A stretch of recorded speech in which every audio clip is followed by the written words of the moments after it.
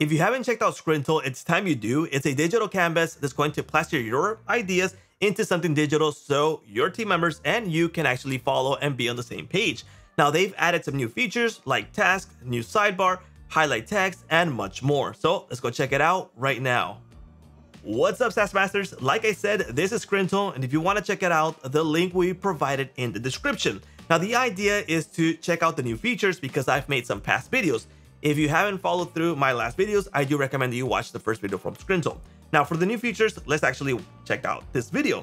Now this is my Scrintal digital canvas and I'm going to show you the new features. So first off, let's get started with tasks.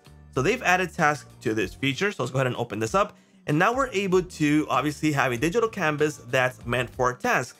And that way your team members and you can actually follow through really easily. So let's get started by creating a brand new task. So let's go into one of our boards right here. Let me go ahead and open this one up and I'll create a new card. And in this card, I am going to create a task. So let me go ahead and open this up and I'll just name this make video for Friday. And I'm gonna add some tasks right here. So let's go ahead and add a task list and I'll say script. Then I'll add another task, which would be, for example, recording and one more published video. Obviously, you would have a bunch of tasks, but these tasks are going to be automatically added into the tasks section.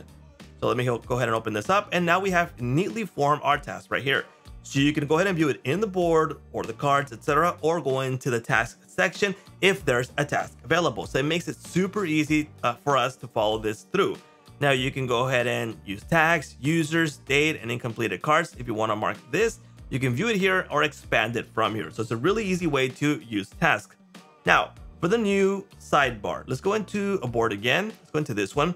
There's a new sidebar on the right that I'm going to click on it and it's going to make it easier for us to navigate through our cards. So for example, I can search through links, search through this search bar system, the information for this one, and actions for it. So I can unstar the board, share or publish, copy link to clipboard, or delete it. So it makes it easy for us to navigate.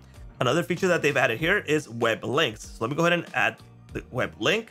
I'm going to select it and I'm going to add it right here. I'm going to type in my URL. So saasmaster.net, hit enter, and now we have a web link right here. I can go ahead and make it bigger if I like. I can change the color. I can open link in a new tab, copy link to clipboard, or just go ahead and delete it or toggle the layout if I want to change it. So that's one of the features that they've implemented. Now, another one is highlighting text. So inside of a card, we can highlight a specific section of the text. This is super useful, especially when there's a long text inside of a card. So let me go ahead and open this one up. Let's just say that something's really important right here.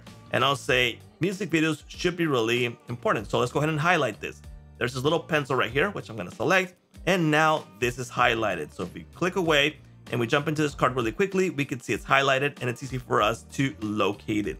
Now that's some of the features that they've added into Scrintal, and there's many more that they've added. You can check these out in release notes.